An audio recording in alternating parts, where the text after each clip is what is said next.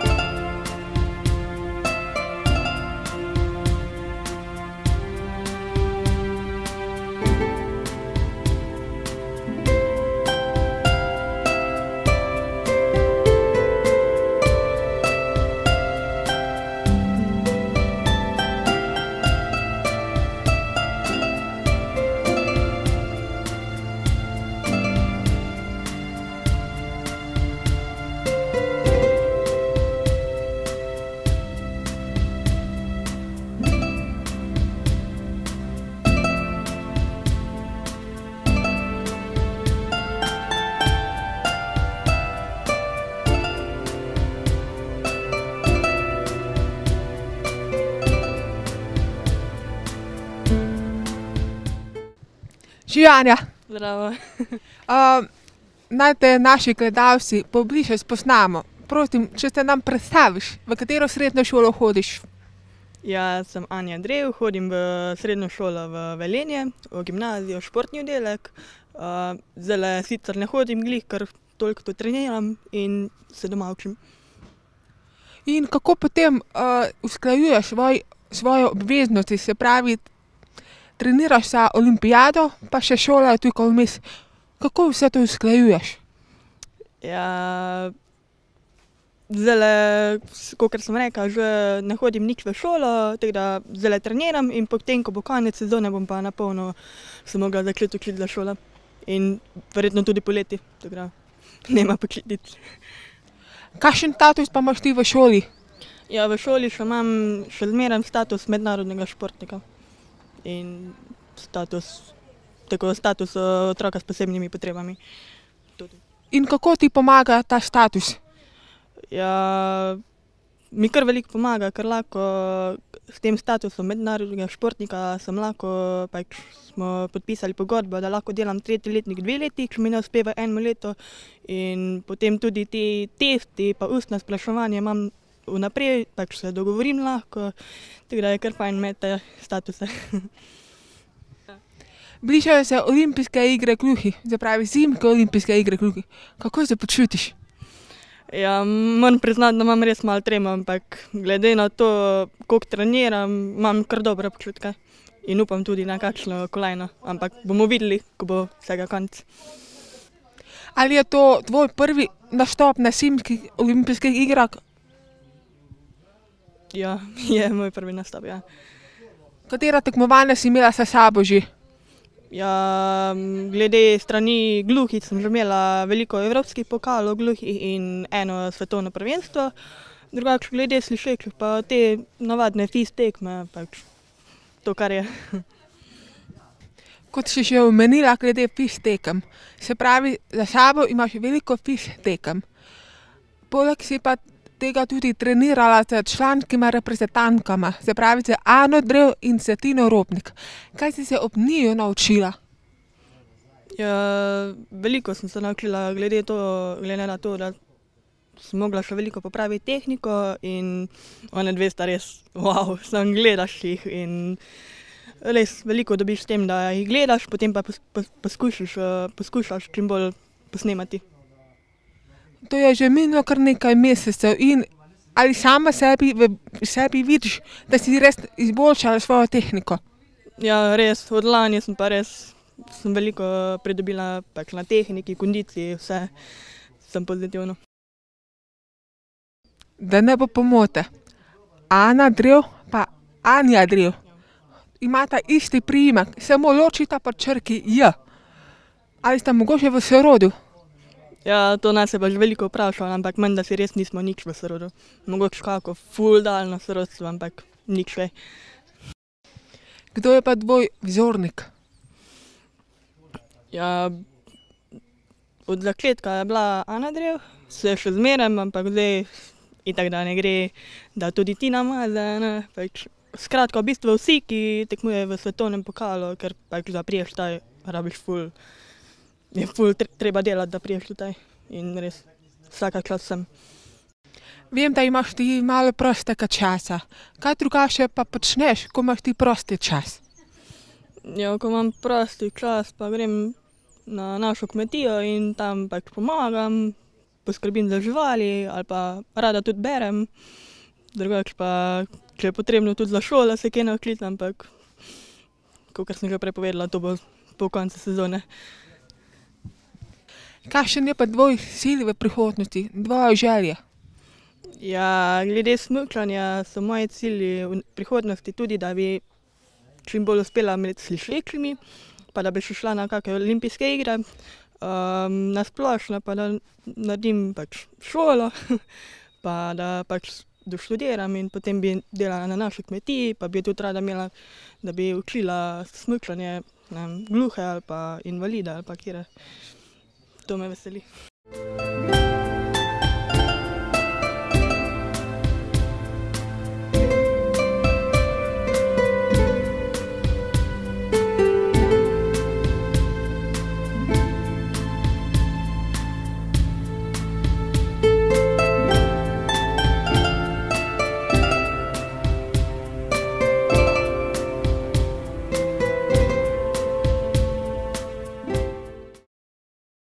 Ko tekmuješ, med slišečimi, ali mogoče kdaj vidiš svojo gluhoto kot neko oviro?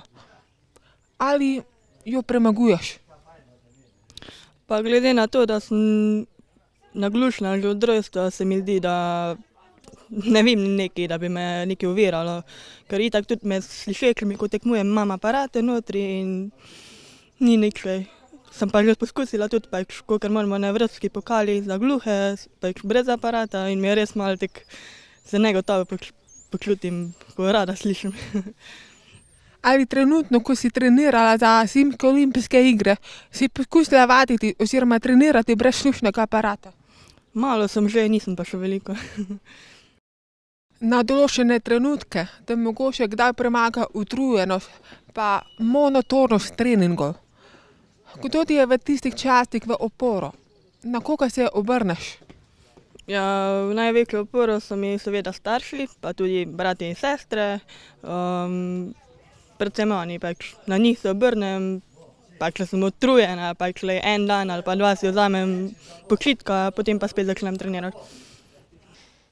Anja, za trenutno odpravo si ti edina Slovenka, ki se bo udeležila zimskih olimpijskih iger gluhih.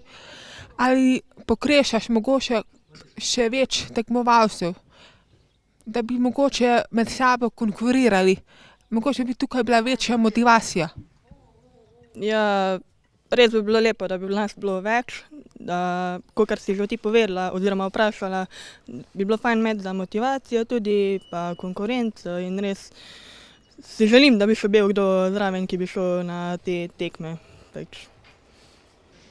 Imaš mogoče kakšen, socialni forum, mogoče Facebook, karkoli, da bi lahko gledalke in gledalci spremljali tvoje rezultate na zimskih olimpijskih igrah gluhih? Ja, kakor vsi imam tudi Facebook, ampak ne vem, bom, bom tudi objavljala te rezultate, ko bojo, ampak Bomo videli. No. Kaj bi pa rada še sedaj, pred odhodom na Simske olimpijske igre gluhih, sporočila še našim gledalkam in gledalcem? Ja, spremljajte me pa čim bolj držite pesti, da bom čim boljša. Hvala, Anja. Anja, mi, ekipa Tip TV, ti želimo veliko uspeha na tem tekmovanju, pa seveda veliko sreče in da te boš vrnila zdrava. Srečno. Ja, hvala vam res tudi.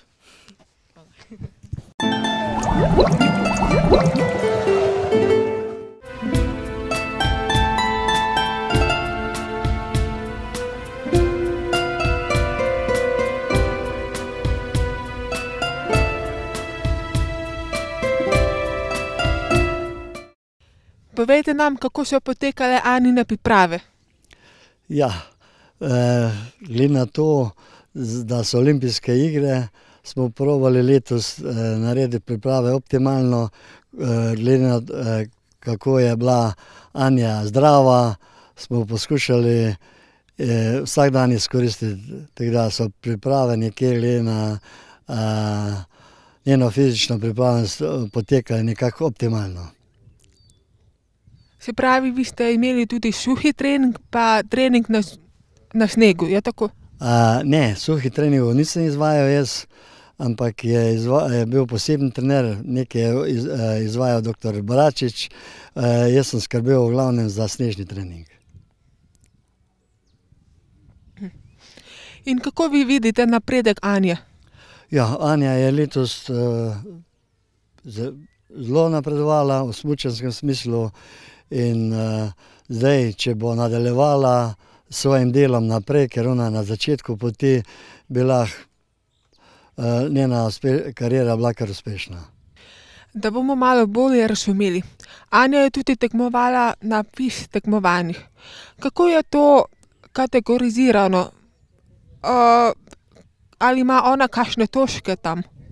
Ja, Anja je tekmovala, letos sicer se nismo udeležili toliko FIS tekem, v slalomu je, bi rekel, kar dosti konkurenčna bila, v veleslalomu nismo bili tako dobri, ampak je tudi letos naredila izboljšavo, nismo pa letos polagali pažnje na FIS tekme, ker smo se osredotočali na olimpijske igre in pa da bi bila dobro pripravljena in nepoškodovana.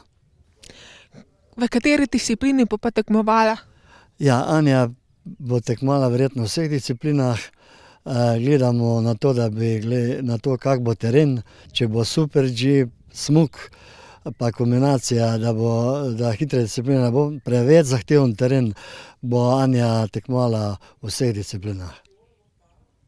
In kaj je njena prednost pred konkurentkami?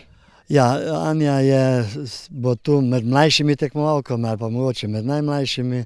Njena prednost je to, da bo neobremenjena na tekmi, je pa konkurenca ni slaba, kolikor jaz poznam, ko sem bil z njo na svetovnem prvenstvu, je nekaj odličnih tekmovalk.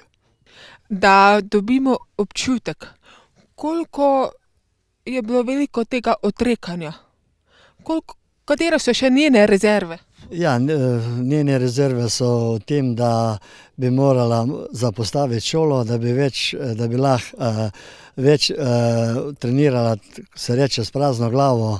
To je, da nisi obremenjen s šolo in lažje treniraš in tudi lažje dober trening narediš, če pa si zjutraj v šoli ali pa še vmes šolo hodiš, je pa to malo težje. Kaj je pa najbolj pomembno na sami tekmi? Katere šibke točke ima Anja? Kaj mora odpraviti? In povejte še to, na kaj bo ona morala osredotočiti pred samo tekmo? Ja, Anja je, pri Anji je bistveno to, da bi prenesla treninge na tekmo. Ker ona je, njena šibka točka je to, da včasih na tekmah v nekaterih primerih odpelje, bi rekel, podpovprečno. Če bi vozila tako, kot je na, na treningih, najboljše treninge izvajala, bi lahko bila, bi lahko bili rezultati zelo dobri. Kot vemo, pri vsakem športniku so tudi pomembne psihične priprave. In kako se je pa Anja psihično pripravila na tako visok rang tekmovanja? Ja, to je pa, to pa je tako, da vsak tekmovalec, tekmovalka prinese s seboj največ. Nekaj je delala, kolikor je meni znano, s psihologom, a, ker je pa to tako visoko tekmovanje, bo pa sama tekma pokazala, kako je pripravljena. Če malo filozofiramo, kakšno tehniko ima Anja, po kateri tako znani smučarki, kot je recimo Tina Made, Ponova, Veningarjeva, Šifronova? Ja, Anja je zdajle pri tehniki v takem položaju, da nima bistvenih napak. Je pa na tekmi bo pa od dnevne forme, od razpoloženja odvisno, kako bo hitra smučala. Ali ima Anja kakšno možnost, da bi nekoč trenirala za reprezentanco A med slišečimi? Ja, tudi to so možnosti. športnik je vedno, se razvija. Eni se razvoj v začetku malo upočasni in je to hitrejši. Čas bo pokazal v roku dveh, treh let, če bo njen napredek šel naprej, je tudi to možno. Kako pa z njo komunicirate? Recimo pri slišečih je ponavadi tako, kot rečejo, walkie-talkie, ko oni tako. Kako pa vi z njo? Ja, midva z Anjo kar dobro komunicirava. Jaz se vsakokrat peljem z njo na sedežnici, na sedežnici, ker sva blizu, pokomentirava vožnjo in to je to. Kako je pa z opremo? Kdo je serviser in koliko vsega je potrebno vložiti v samo opremo? Koliko opreme boste nesli v Rusijo? Ja, oprema je pa kar precej. Treba bo nesti dva para smuk, dva para super G, dva para veleslalom pa dva, dva para slalom. To je kar precej opreme. opremo so, to ne vem, so domači nabavili, mislim, da je oprema, kolikor mi je poznano, ima dobre, dobro opremo. Servisira za treninge oče pa nekaj sama Anja, tam bomo pa morali drugi poskrbeti, ker očeta ne bo zraven, tako da bo imela smuči optimalno pripravljene. Kdo pa vse gre zraven? Ja, zraven gre mama, ker bo skrbela zanjo, ki je še, mislim mladoletna.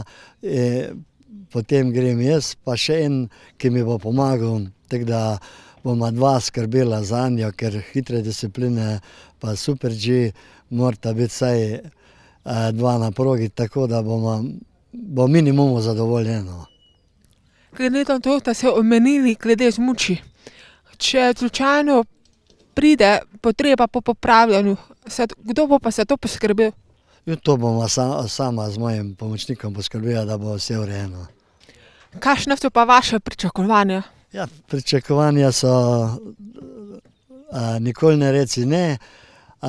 so, da bi Anja naredila najboljše vožnje, ki jih naredi na treningu, in da bi se ji poklopilo pa da bi bil res odličen rezultat. Ne bom rekel medalje, ne bom napovedoval, možno je pa vse. Koliko so pa letni stroški, da se Anja udeležuje takih tekmovanj pa treningov? Ja, to pa jaz ne bi vedel točno, kaki stroški so, niso pa mali. Sigurno je kar precej stroškov.